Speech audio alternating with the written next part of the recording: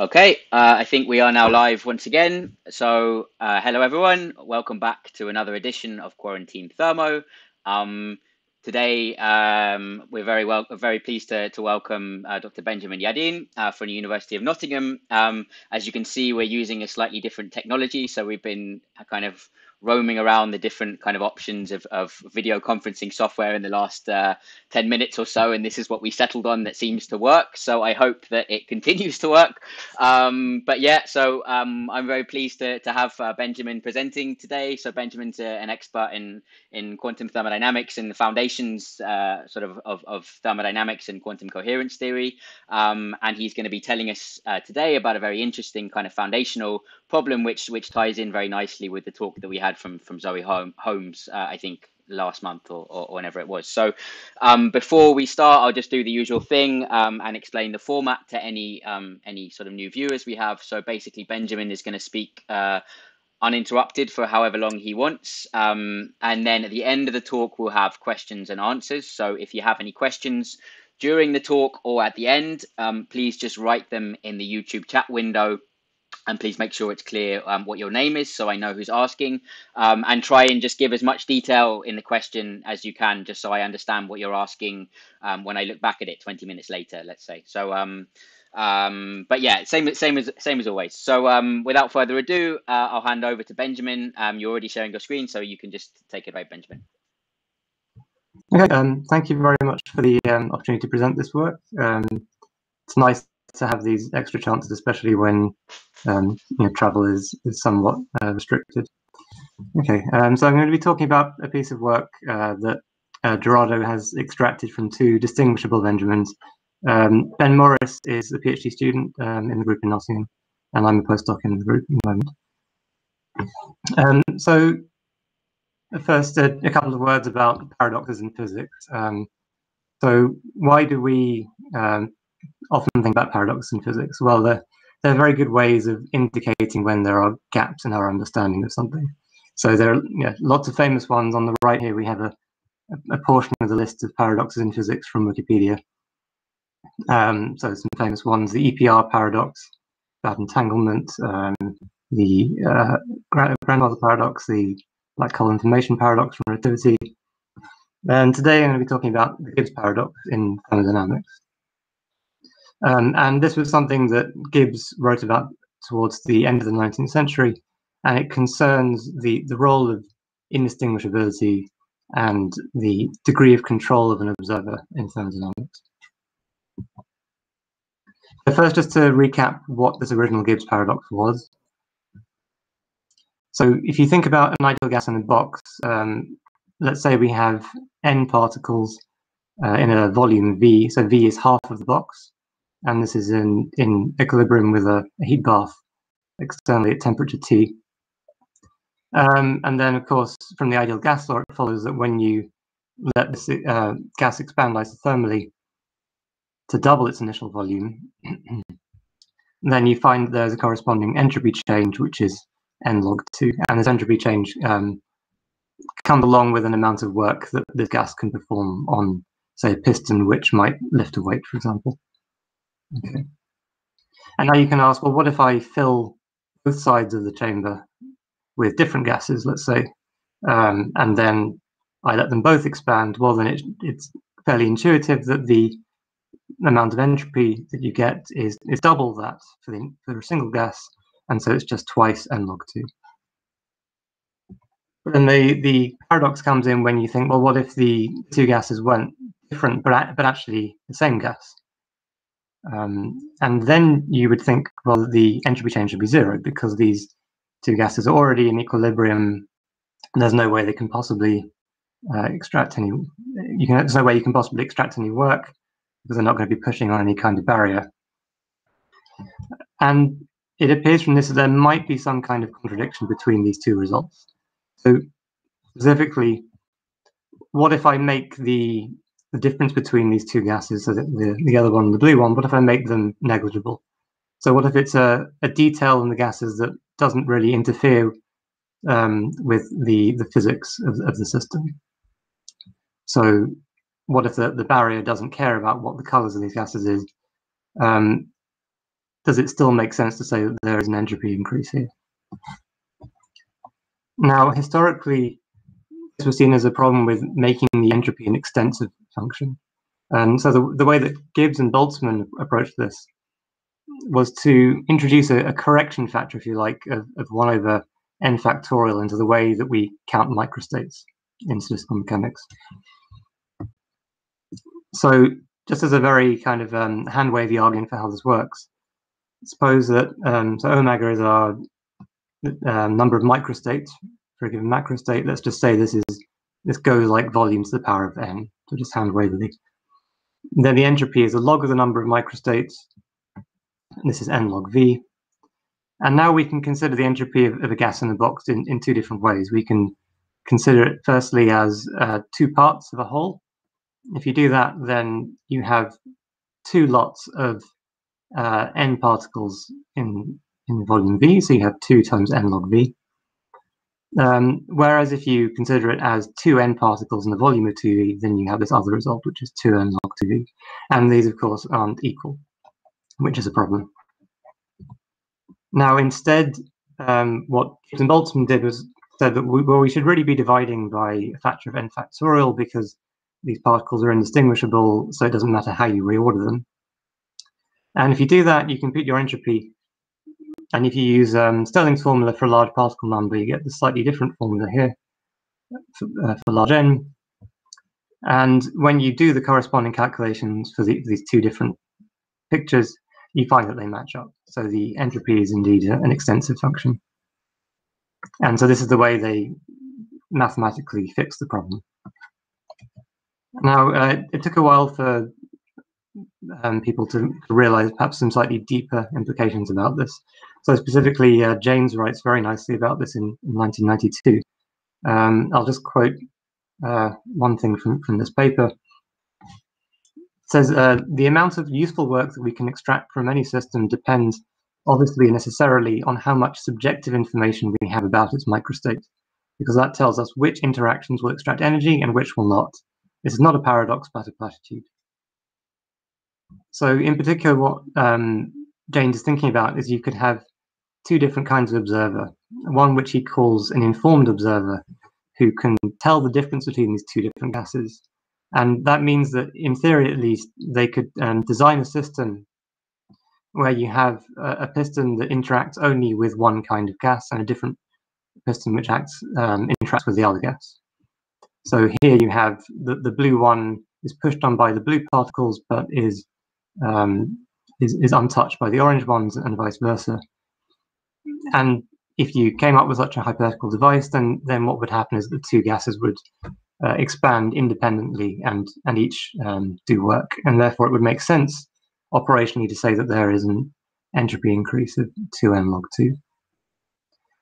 Now, the other observer is called an ignorant observer, and this is someone for whom there is no practical difference between these gases. And for them, they have a different set of tools available in their laboratory, if you like. So they only have um, devices available which interact in the same way with these two kinds of gases. Um, and Jaynes' argument was, well, if you if you consider such a device, then actually the ignorant observer won't be able to extract any work from the setting, even if the two gases were actually different and therefore it makes good operational sense to say that the entropy change is zero. So there's really no contradiction here. The entropy change is something that is observer dependent, um, but it depends on how much control each observer has over the system in their laboratory. Okay. So what we're doing is, is adding a quantum twist to this. Um, it's often argued that when you consider um, fundamentally indistinguishable quantum particles, that this somehow makes the situation simpler. Um, we're arguing that there's actually an additional rich, richness in structure that comes along from this. Um, so we'll be talking about uh, identical bosons and fermions, and, um, and and getting some kind of new effects that you don't see in the classical case.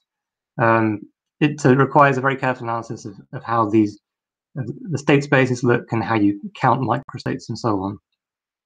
Um, and just to clarify, there's nothing philosophical really here. We're not claiming there's actually a paradox. It's just that the, the physics is very different from the classical case. Um, also, this is going to be quite abstract in the sense that uh, we'll take rather simplistic toy models just to illustrate the um, the, the fundamental statistical mechanics at, at the bottom of this. Um, and we're not really concerned at the moment with, with uh, proposing a, a, feasible experiment. Um, it's worth pointing out recent works on this. Um, so, for example, uh, Zoe Holmes gave, gave a, a, talk in Quarantine Thermo a few weeks ago about these two papers. What one, which is also about Gibbs mixing, another one, which is on, on a related topic with um, work extraction from bosons, and there's, there's, a few other papers which are certainly worth looking at. Okay, so what's our model? Um, very simple. We imagine we have a box with two sides which are the same size. Each of them is, is populated with uh, d over 2, uh, what we call cells. So we, you can think of these in, in position space, but that's not strictly necessary. It's just a set of d over 2 different states that each particle can occupy on each side of the box. We start with n particles on each side, um, initially thermalized at some temperature T. Um, and the idea is that we distinguish these two different gases by uh, a degree of freedom, which we call the spin. So this doesn't have to be a, a physical spin, but it's just some um, degree of freedom with, with, two, two values, basically. So in the in the classical case, this would just be a label which can either be up or down.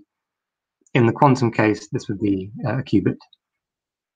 Um, now, the uh, Hamiltonian is zero, so all of these cells are up degenerate in energy. So that's that's the model.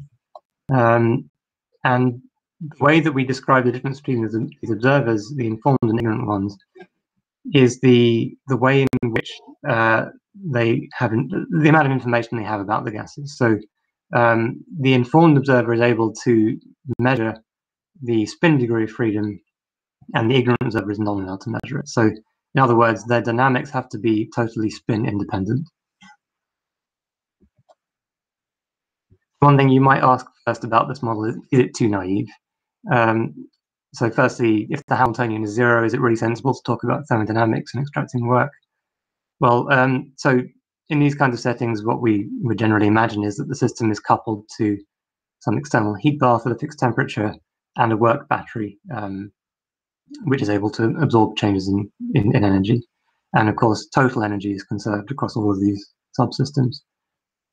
Um, now, the way we're going to quantify the extracted work is just by using the quantum version or classical version of the um, Helmholtz free energy, uh, which in particular, because the Hamiltonian zero just re reduces down to the, in the quantum case, the, the von Neumann free energy. So uh, the extracted work is just going to be given by the, the KBT times the change in entropy. Um, now, I'm aware that there are other there are a lot of a lot of subtleties, especially in the quantum case, um, about talking about these free energies. There there are other free energies, such as single shot free energies, that you can consider. Um, it, however, it turns out this is really sufficient for our case. Um, I'll be talking a little bit later about uh, work fluctuations as well. Um, but this will this will serve as a good enough figure of merit. Now, um, the other question you might have is how can this a model this simple possibly uh, model an ideal gas? Um, well, it turns out actually that even in the classical case, it's already known that quite simple kind of combinatorial counting arguments are sufficient to recover a lot of the statistical features of an ideal gas. Um, so in particular, you could have a look at these um, papers from a special issue in Entropy in 2018 about the Gibbs paradox. And we'll see um, in just a second how this works in the classical case. Okay, um, so this is the analysis in the classical case, and the idea is to do this analogously to how we treat the quantum case, just to check that we're really playing the same game here. Now, let's think about the informed observer first. So first, uh, in their initial state, so they have n particles on each side.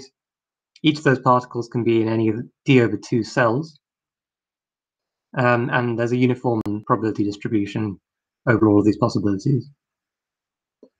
So um, you can just count the number of ways of distributing n particles over d over two cells, and, and bearing in mind that we're allowed to have more than one particle occupying the cell, uh, the formula for this is just given by this um, binomial coefficient.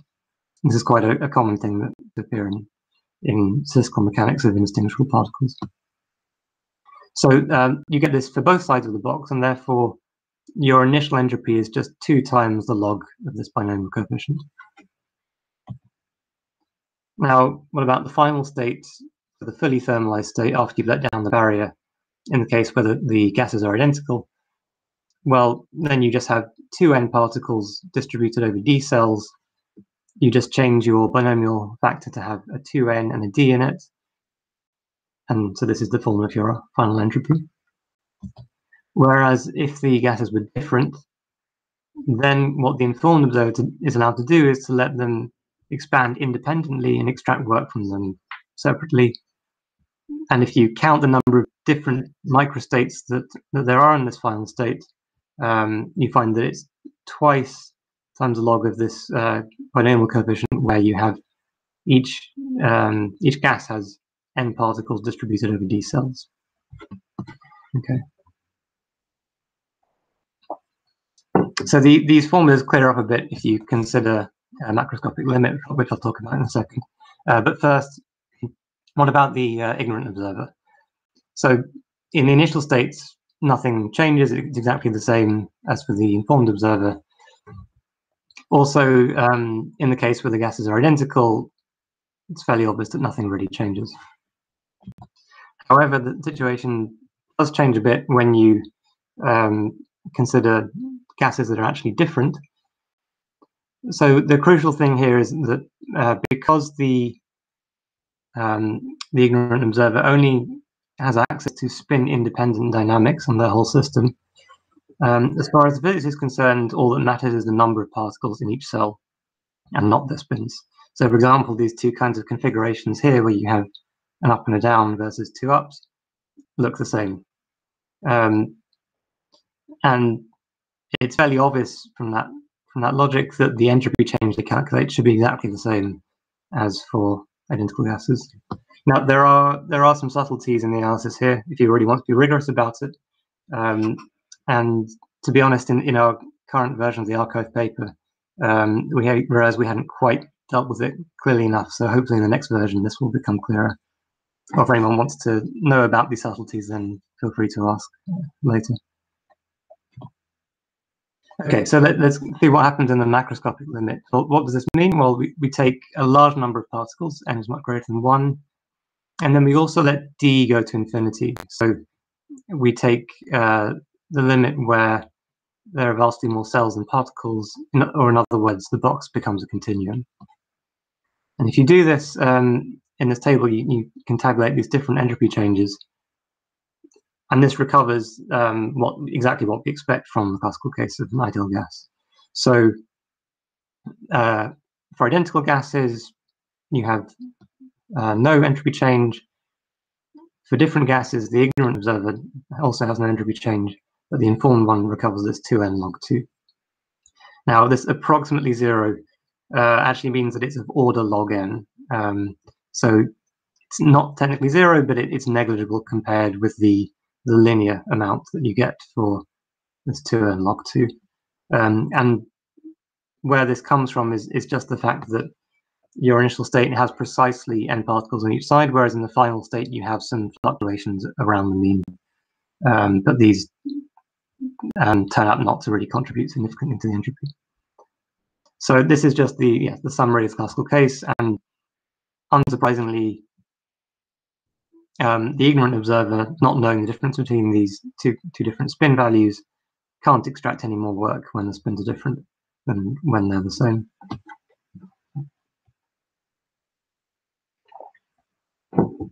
So Now onto the quantum case.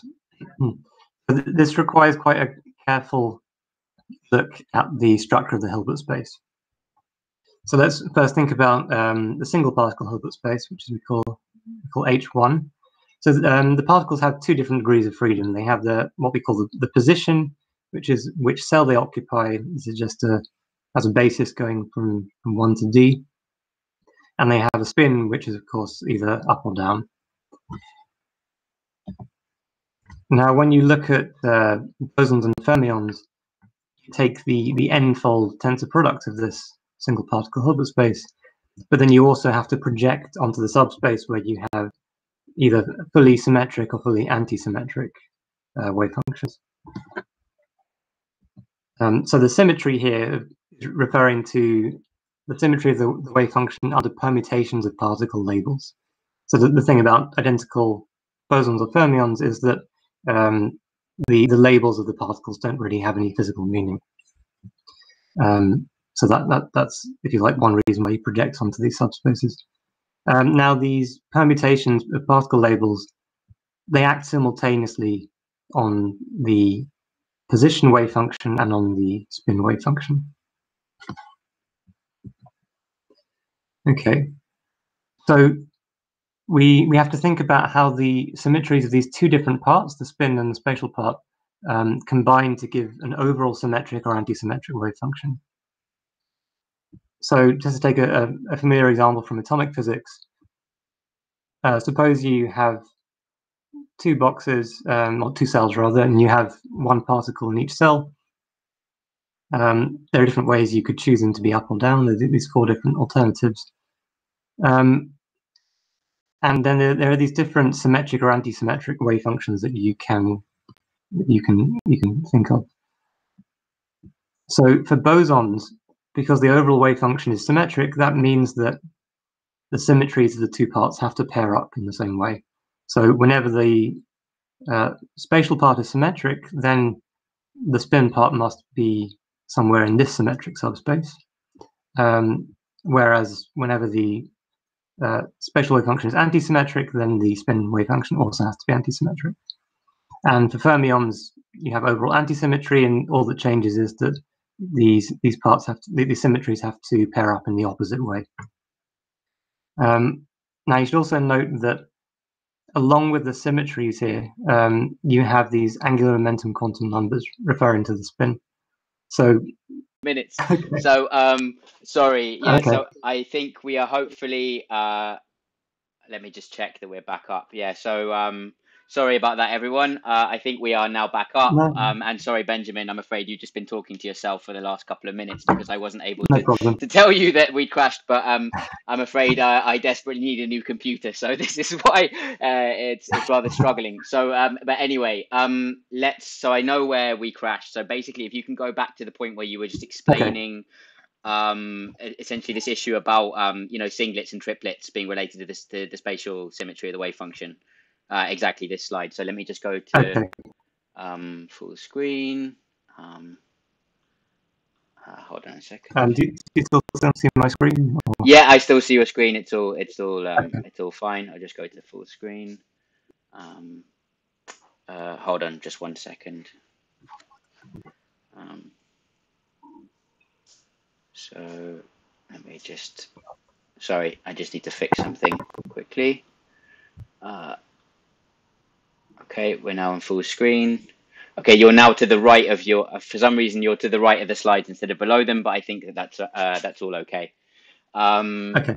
Yeah, so I think we're all fine. Sorry about that again, everyone. And yeah, please. Uh, so so go ahead, Benjamin. Okay. Yeah, I'll give it a second shot then. Um, hopefully it's better this time around. Um, okay, uh, I don't know how far back exactly to go, but I'll just say that. Uh, okay, you you have these um, so when, whenever you have a, a, symmetric spatial wave function, this must necessarily, for bosons, pair with a symmetric um, spin wave function, which also comes with a, a, spin quantum number j, which is which is a property of the, the total spin vector, tells you about the length of the total spin vector. Um, and similarly with uh, an antisymmetric spatial wave function, you have this uh, symmetric singlet spin state, which is j, j equals zero. Uh, and for fermions, to get an overall antisymmetric wave function, these two parts uh, pair up oppositely.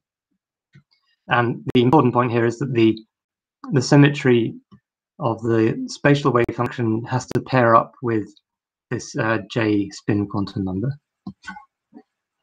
Um, okay, so, so more generally, we have to use this trick from representation theory that's called Schur-Weyl duality. Um, it's not that important to go into the, all the details about this, um, but just to give a, I'll, I'll give a, a, sort of a flavor of how it works. So if you just consider the the spin part first, so you have these the n um, n copies of the uh, sorry the, the spatial wave function n copies of that. This can be decomposed in a particular way, which is a, a sort of a block decomposition labeled by these things called lambda. And for each lambda, you have this uh, product of two parts. And the one on the left, uh, which we call h lambda, is something uh, which encodes the well, which evolves under SUD. So in other words, if you were to um, rotate the uh, spatial wave function of each particle, then that acts on this Hilbert space. Whereas if you were to permute the particles, then this acts on, on this Hilbert space, the k lambda. Uh, so the, these lambdas are things from representation theory. They're called Young diagrams. Um, it's not really important right now what they are. They're basically just, uh, you can think of them as ways of partitioning um, the number n in, in different ways. Uh, D tells you the maximum number of rows you're allowed. Um, but essentially, it's a, a, label for these different irreducible representations under, under these groups. And the duality is the thing that tells you that these lambdas um, simultaneously represent um, both parts of these groups. Okay, um, now Okay. Sorry. Yeah. Uh, I mean, yeah, I'm afraid I uh, there's not really much that I can do about this. This is just unfortunately the the rather tired state of my computer. Um, so I do apologize, sure. uh, everyone, for this. Hopefully, um, hopefully it's going to work now. okay, so we're back up. So if you want to if you want to share screen again, Benjamin. Okay. Uh, is it not sharing or? Uh, no. At the moment, I'll try, I don't. I'll try again. I don't see the presentation right now. Okay. Um,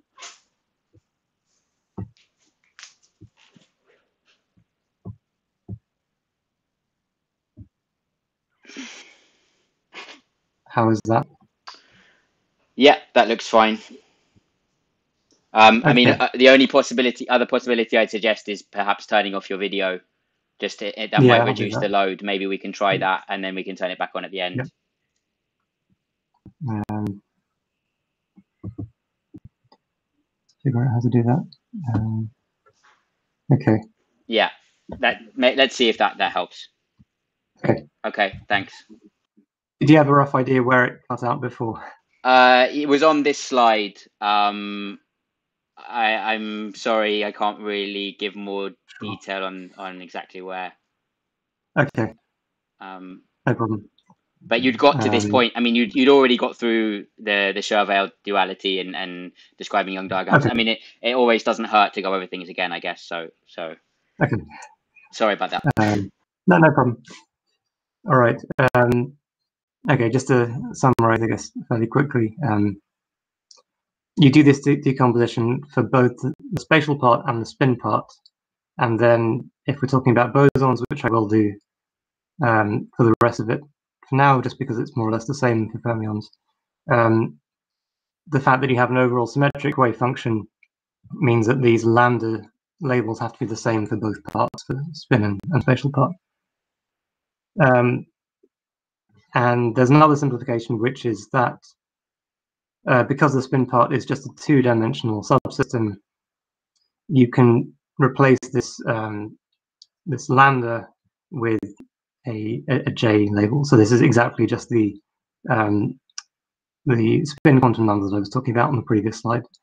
Um, so the, the point about this is that um, the this uh, n particle Hilbert space actually decomposes in a block structure where you have different J's, which are referring to the uh, spin quantum number, and then for the spatial part, these J's also um, refer to a particular symmetry representation of the spatial part. Um, and, and, and, they refer to a particular representation of SUD. So you have the, these different um, types of uh, spin uh, spatial wave function which pair along with the j for the spin. Okay, and now what's useful about this uh, this decomposition is it tells us how to describe these spin-independent operations. So let's consider a global unitary U, which is coupling everything together, so the system, the heat bath, and the work battery. Um, now, firstly, this ha has to act only on these hx factors, so not the spin part. And there's another uh, important assumption, which is that it must preserve the bosonic symmetry. Um, and this this means you require that uh, this unitary commutes with permutations of the particles. So the, the upshot of that is that the unitary has to decompose in a block diagonal structure where this uj only acts on the, the, the spatial part of the wave function and there's an identity on the spin part.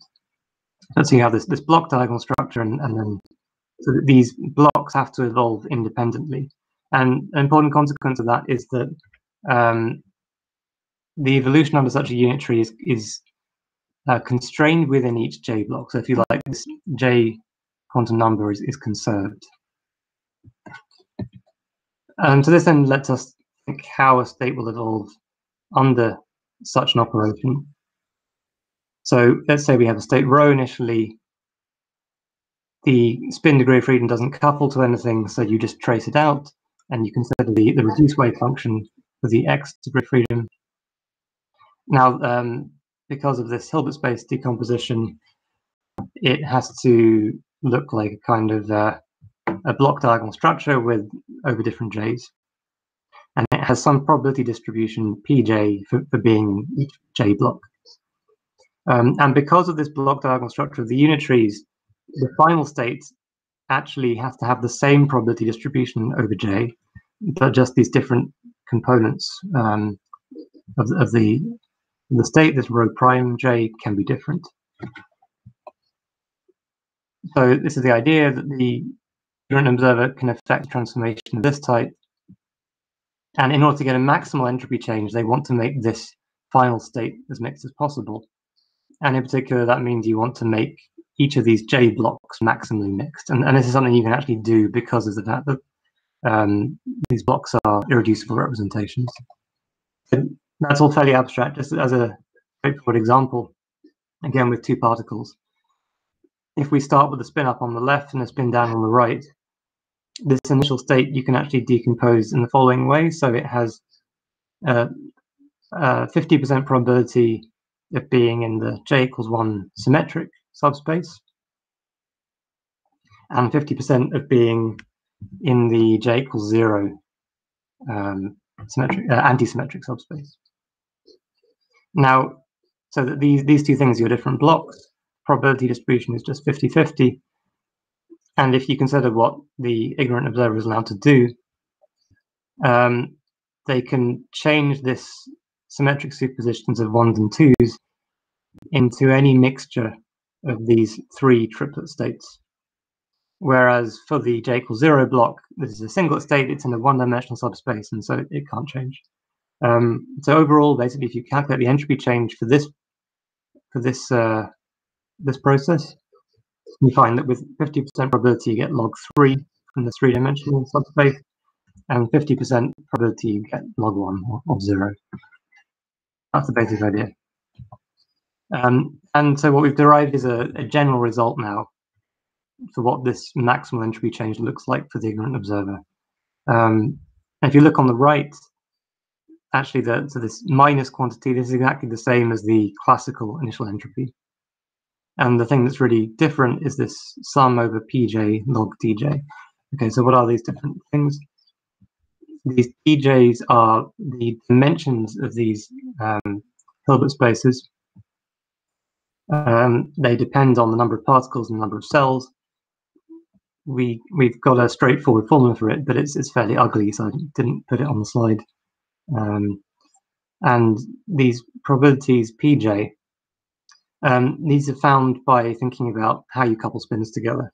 So just as a kind of sketch of how we do it, um, because you have n particles with all the same spin on each side, you can basically lump them together and think about each side as being one big spin with, with a, lo a longer spin vector.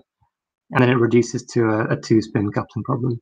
So that, that's sort of the, the idea of that. And again, you get a fairly straightforward formula. It's, it's not too hard to compute. So to summarize what this gives us, um, when you have identical gases, this means that everything is spin up. And that means your, your spin vector is maximal. So you only you're only in this j equal n subspace. Your, your probability distribution pj is, is is sharp and you get p of n is one and all the others are zero. And actually the these this dimension dj here is actually the dimension of the um, symmetric subspace for bosons. Anyway, the, the, the, the result about that is that you get exactly the same formula of the entropy change for both observers and exactly the same as in the classical case. Well, now, what's more interesting is when you consider two different gases. So here, there's now some non-trivial distribution over the over the J's. Um, the informed observer gets exactly the same as the classical formula, but the ignorant observer changes. Now, what's a good sanity check is that the ignorant observer can never extract more than the informed one. Um, however, what is important is that the ignorant observer can extract more than in the classical case. So here are some plots to demonstrate this. So on the left here we have uh, four particles on each side. And this is the entropy change as a function of d, the number of cells in the box. So at the top here, you have this, this dotted line is the 2n log 2 classical ideal gas formula. And you see now that the, the green one is for the absor uh, informed observer, which can either be quantum or classical. It's the same answer. And you can see that as you make uh, the box go to continuum, it does, as I said before, it does approach the ideal gas result. At the bottom, this uh, dotted line here is for the ignorant classical observer, and you see again that it's it's a non-zero but negligible um, entropy increase. And now that this interesting one is the one in the middle, the red line is the ignorant quantum observer, and you can see firstly that it goes above the, the classical version, um, and that it also saturates to some maximum as you increase d, um, but there is a gap between between the two observers. Now on the right, we've got a larger particle number, and you can say you can see much the same behavior, except that this gap between the green and red line is now narrowed at least sort of proportionally. This is uh, what we call the low density limit, um, and, and, we can actually derive uh, an expression for the the gap between the two observers. Um, so this involves the the Shannon entropy of this uh, probability distribution pj, and then another a small correction, which is, is not so important. Um, now, the really interesting thing is, is, what happens when you take large particle number. Whoops. Um, and then, then we find that this entropy HP goes as log n. So that's rather striking because it means that both of these values for both both quantum informed and ignorant observers 10 to 2n log 2 um, because the the next well, so the next leading contribution for the uh, ignorant observer is is order log n so it's negligible compared with the the actual value so in other words the fact that the ignorant observer doesn't know the spin and can't interact with it actually doesn't uh, hinder them at all in this macroscopic limit and so if you like, this is kind of a kind of a paradox. Appears a bit paradoxical. Um, one thing you should probably ask at this stage is, what about fluctuating work? So I haven't really touched on this properly yet. Um, so we have this probability distribution pj. So what actually happens is that for each j, you can deterministically extract a certain amount of work. Um, and then there are obviously fluctuations in this j, and what we've actually computed so far is really the mean entropy change. Um, so to look at fluctuations, you, you can check the variance of this this entropy change, um, how it varies with J. Um, and again, so if we look in the, the limit of large number and low density, you can get a, a simple approximation for this probability distribution, and the variance comes out to be a constant, so about point, uh, 0.411. Um, and this is constant compared with the linear value for the, the mean entropy change. So really the fluctuations are negligible. So you, this is a, effectively deterministic, if you like. Okay. Now I'm going to try and give a, a sort of semi-proof to um, give some intuition for why this low density limit um, has the result that it does. So one simplification that happens is that it's very unlikely in this limit that two particles will be in the same place.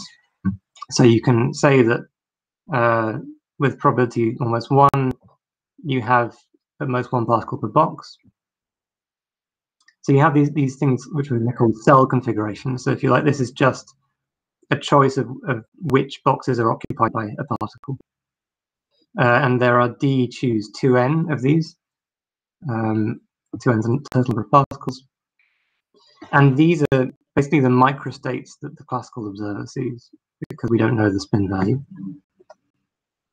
Now, for each cell configuration, there are also different spin configurations, so different ways of putting up and down spins into these boxes. And the number of ways of doing that is 2n choose n. You just choose which end of the boxes have up and, which end have down. So let's just say, without lots of generality, that we've occupied boxes 1 up to 2n, uh, cells rather, um, and then the different spin configurations, are, you can think of them as different ways of permuting uh, the state here. So um, this is, is this is not a first quantized state. So the, these labels here are referring to different boxes, not to different particles. So this is saying we can really think of each box as a qubit, which either contains an up particle or, or, a down particle. Um, and so there are different ways you can obviously permute the, the up and down choices in these two n boxes. Now, the, the crucial question is, how much information do you lose when you trace out the spin part of the wave function? Um, and of course, classically, um, you lose everything apart from just the, the cell configuration because you have no idea which of these ups and downs. Whereas in the quantum case, we have something different.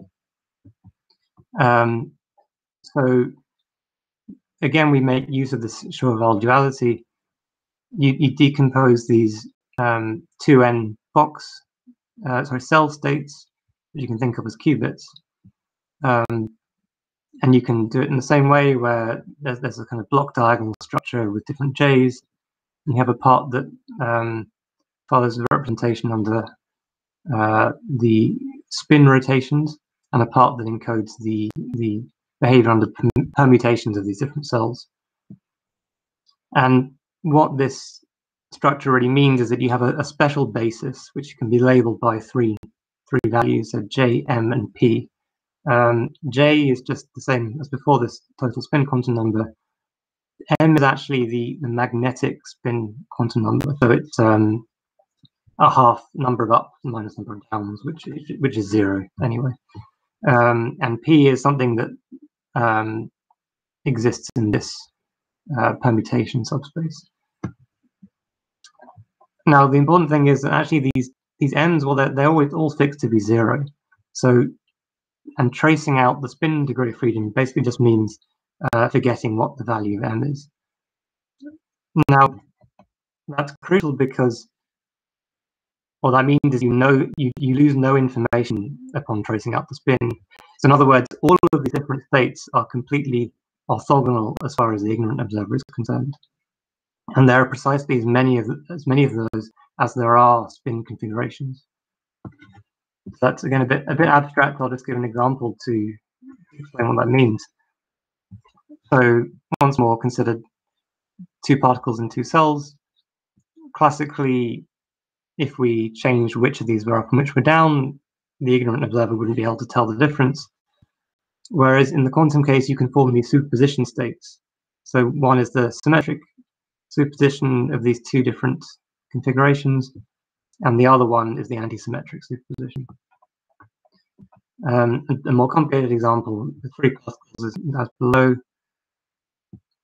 The, the, point about this is that they are um, these are superposition states which, rather surprisingly, can be all distinguished by the ignorant observer.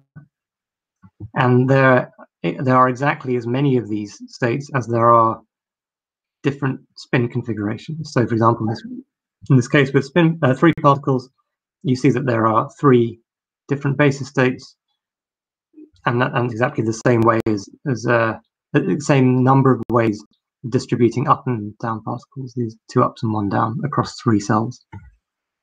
So this really explains why in the low density limit, you don't lose any information by, by tracing out spins.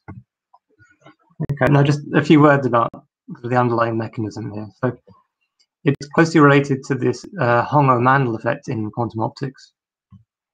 So just as a, a recap what this effect is, if you take two photons of, of the same polarization and put them at a non-polarizing beam splitter, you can arrange the phase in such a way that um, either both particles go left or both particles go right. So you get photon bunching. And then when you put um, photon number counters, you get uh, either zero or two clicks on each side, and they're always perfectly anti-correlated. Um, now, whereas if you had two different polarizations and, and you put them at the same beam splitter, you would instead find that the particles then distribute independently. They can each go either way, and you'd get some different distribution of, of, uh, of numbers. It could be zero, one, or two on each side. Now, what's important here is that the, the operations are spin independent. So you've used a non-polarizing beam splitter and also a, a, number detector which which can't tell the difference between different polarizations. So in other words, this apparatus is within the repertoire of the ignorant observer, but what it's allowed them to do is distinguish between different internal spin configurations. And so that's why it's not necessarily surprising that we get these different uh, outcomes in, in the quantum case, where, whereas they would look the same in the classical case. Um, now, finally, you might want to get a sense for how how complex are these these, these states that the uh, ignorant observer has to distinguish? Well, um, as you saw on the previous slide, they're, they're actually generally highly entangled states. And there is actually a, a circuit which is known to um, produce these these what's so called Schur-Weyl basis states from some computational basis. Um, this can be done efficiently, um, so it's polynomial in, in the number of particles and number of cells and, and, and logarithm of some error. Um, the point really here is this this uh, circuit that creates these entangled states is, is, a kind of generalization of the Fourier transform, um, which is of course an important um, subroutine in, in quantum computation. Um, and what that means is that there's obviously a sense in which these uh, states are highly complex. Um, and, and this explains why you don't really see this effect classically. It's because classically you might expect there's some kind of, of locality going on, which prevents you from seeing this, this uh, using the entanglement. Okay, so just as a summary, this analysis really uh, reveals that the important connection between the knowledge that an observer has and the degree of control they have. Um, and so we've analyzed that through the, the, the use of internal spin, which can't be seen by an ignorant observer.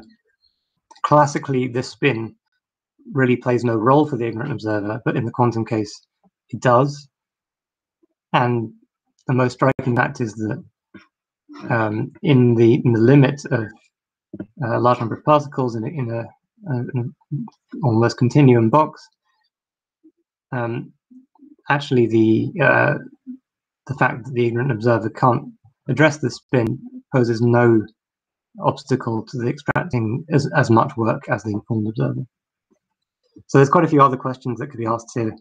One that we're currently thinking about is partial distinguishability. So what if these different spin states are not orthogonal, you'd expect that you should be able to sort of tune the effect down smoothly to zero. Um, and another important one is, of course, turning the, the simple model into a concrete proposal. And may, maybe this is feasible for small particle numbers, perhaps. Um, it's worth comparing this with um, Holmes et al. paper, which was recently published in PRL, which um, shows a slightly different looking effect for work extraction from bosons. And um, it is worth seeing whether their proposal can be modified in some way to see our effect. Um, thank you very much.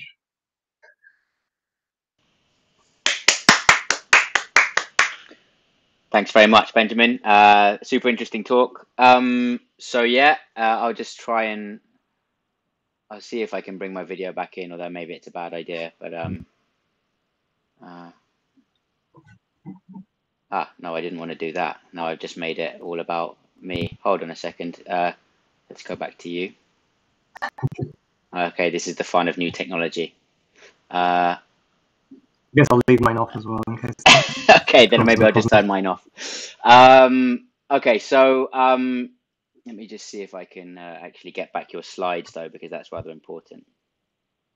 Uh, no, I don't want to do that. Anyway, um, just just while you guys uh, are exasperated by watching me be technologically incapable, um, I remind you that you can ask uh, questions at this point, and that's what we'll do now. Um, if I can ever get back to the presentation. Um, Okay, so I can't see your slide. Yeah, now I can see your slides. Okay, good, good, good.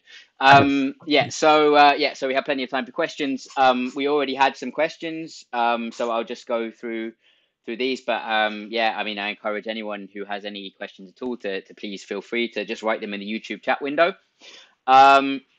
Um, lots of people already clapping and saying thanks for a nice talk. Um, so we had uh, a question kind of early on in the talk from from Ivan Henao, who said. Uh, I have a, so hi all. I have a question. Uh, if the label distinguishing the gases is not physical, how can there be an uh, how can an excess of work extracted for different gases be related to a difference in entropy change?